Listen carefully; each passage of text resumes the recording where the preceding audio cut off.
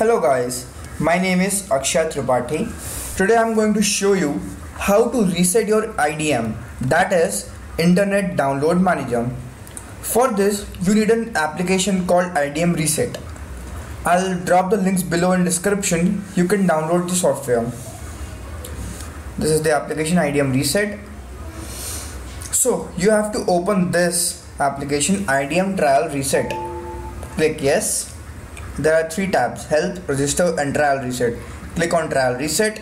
There is an option reset the idm trial now. Click it and wait.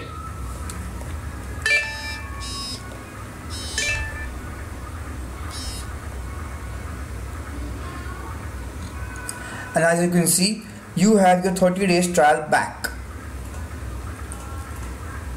So that's it for this video. Thank you for watching if you like my videos please do subscribe. Thank you